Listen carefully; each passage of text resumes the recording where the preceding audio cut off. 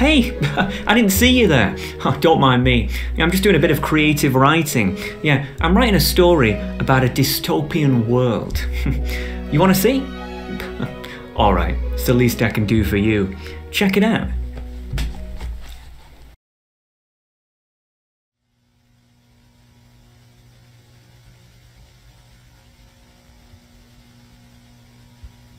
It's not a matter of where do you start. It's a matter of where you end. Gentlemen over there, uh, of course. But the situation's much more dire than that. You know, this notion that the world is all sunshine and rainbows, get rid of it. Because it isn't.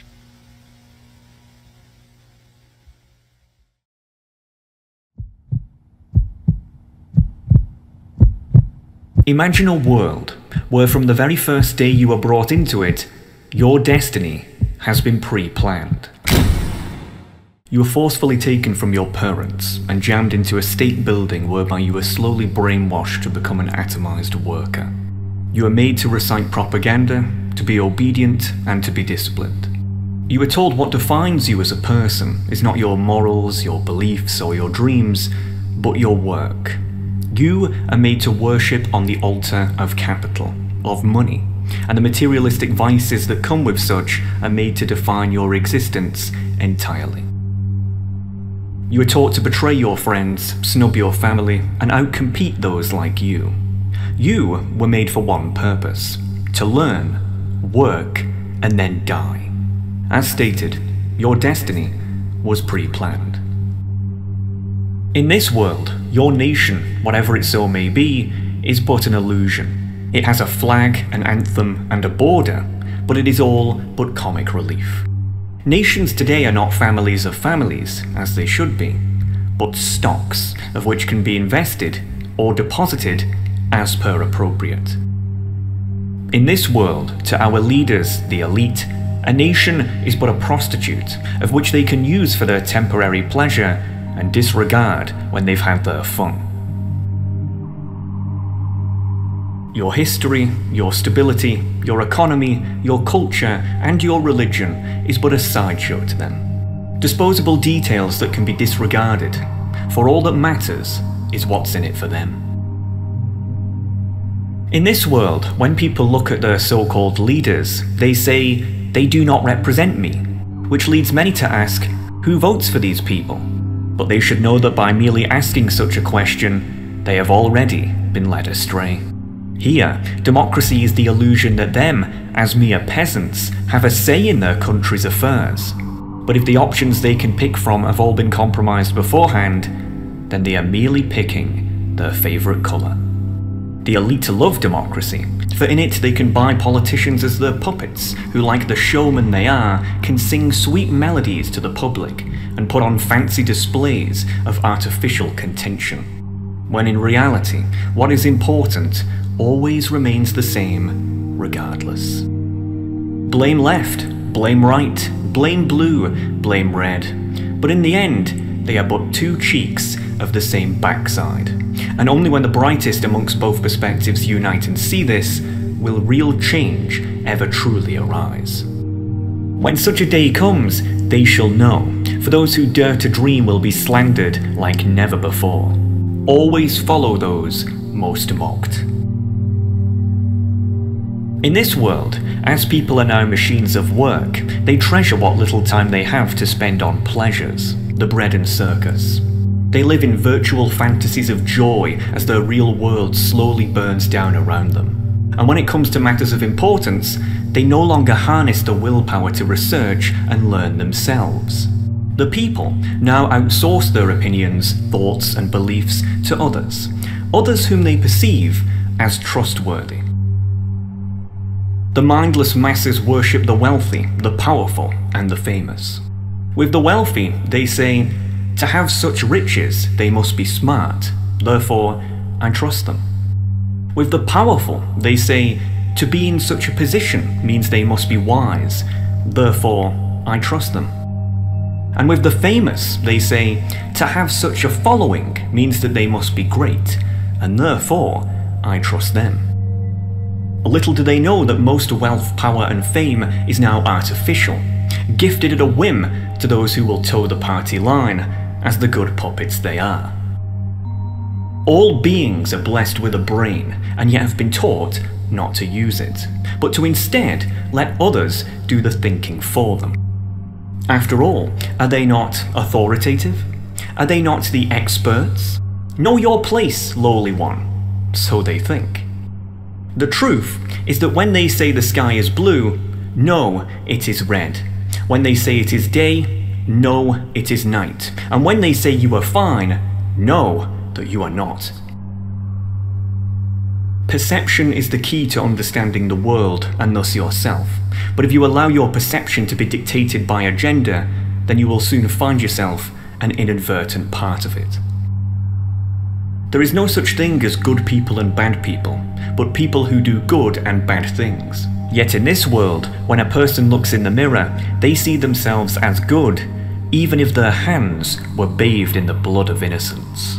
They always underestimate their mind's fragility into being fooled to commit evil against their fellow men in the name of false good.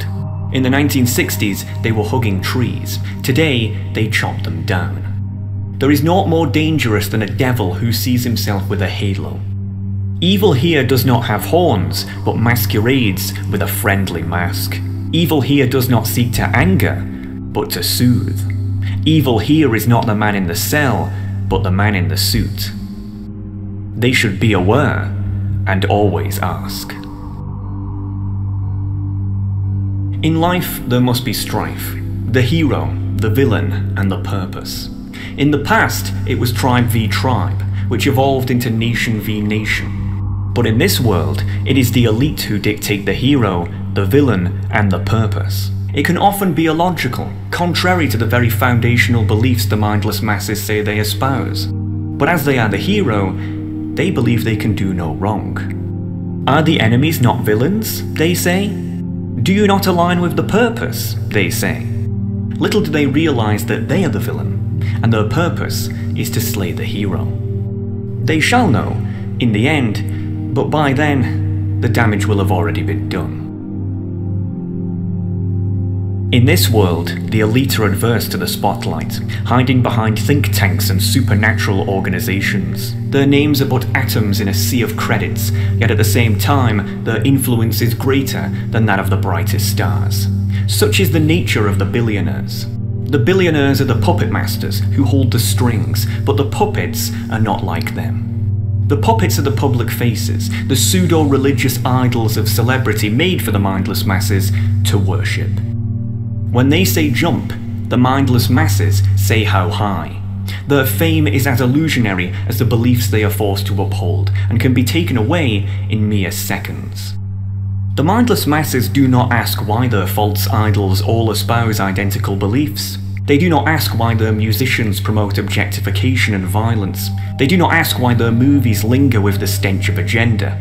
They do not ask why their games bleed with greed. They do not ask for they have been conditioned not to. Those topics are off limits. Remember, their destiny has been pre planned. They were made to learn, work, and die. Consume the products and do not ask the questions. He who knows not that there are questions to ask will never seek any answers.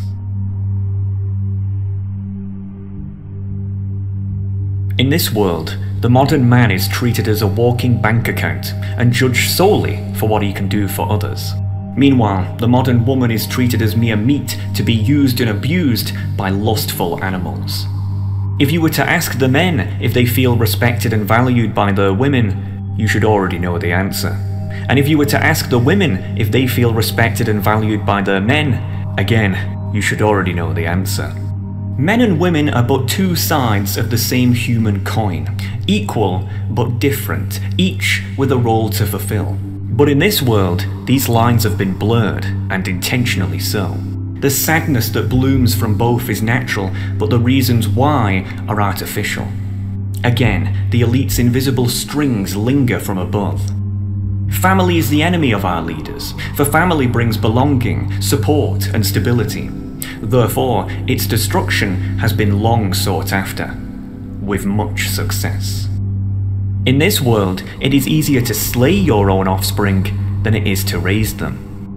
In fact, such murderous acts are advertised as liberating and freeing, applauded by the mindless masses, whereas being a good mother or father is met with scorn and merciless criticism. They never ask themselves, why does society celebrate death while frowning at life? Humans here are not seen as inherently valuable, a flesh, blood, and a soul, but mere empty vessels, a clump of cells.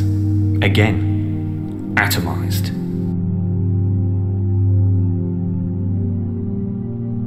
With the rise of globalization, one would expect humanity to be more united as ever. But in this world, unity is not the goal, but division. A stalwart shield can never be broken, but a house divided cannot stand. The masses are intentionally divided into factions that they themselves have not and cannot choose, based on immutable characteristics.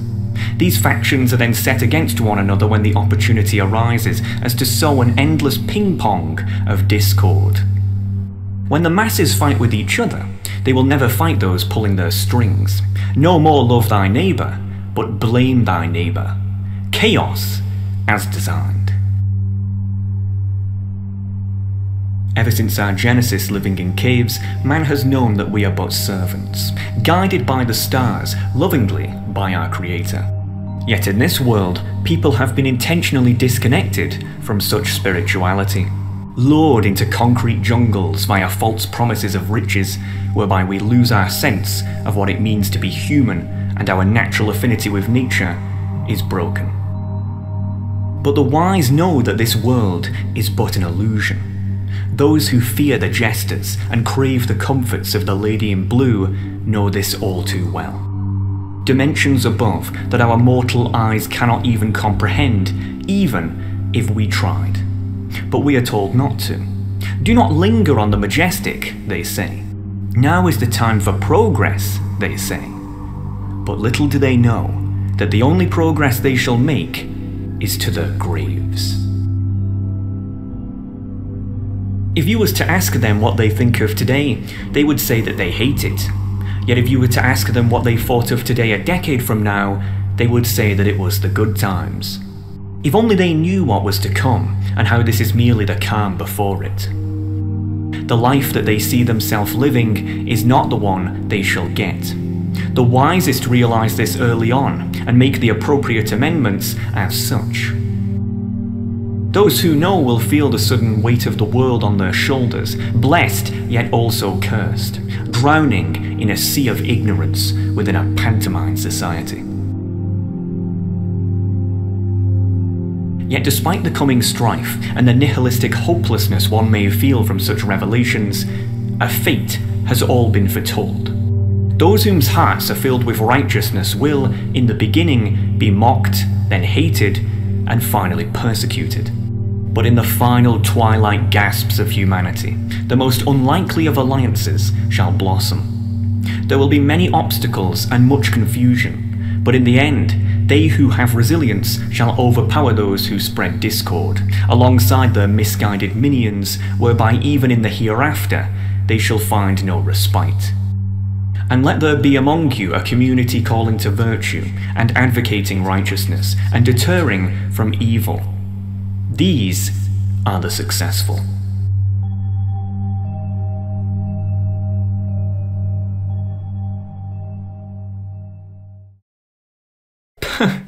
ah, good thing we don't live in that world, eh, lads? ah.